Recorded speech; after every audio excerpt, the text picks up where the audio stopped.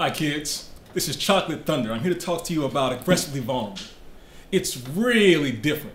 This album will crash its way into your heart. You know, the first time I heard it, it just spun around my entire soul.